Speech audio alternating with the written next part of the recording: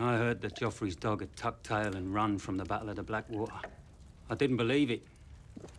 But here you are. Here I am. Bring me one of those chickens. You got money to pay for it? You paid for it? No. But we're the king's men.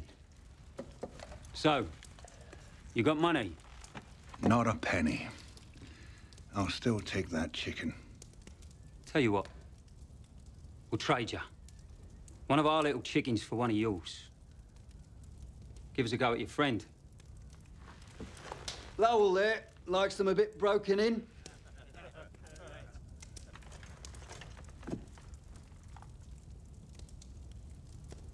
You're a talker. Listening to talkers makes me thirsty.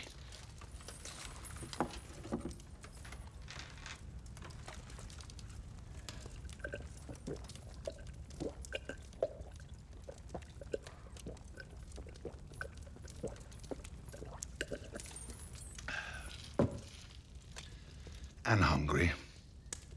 Think I'll take two chickens.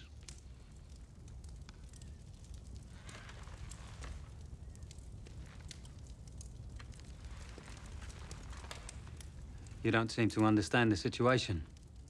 I understand that if any more words come pouring out your cunt mouth, I'm gonna have to eat every fucking chicken in this room. You lived your life for the king. You're gonna die for some chickens. Someone is.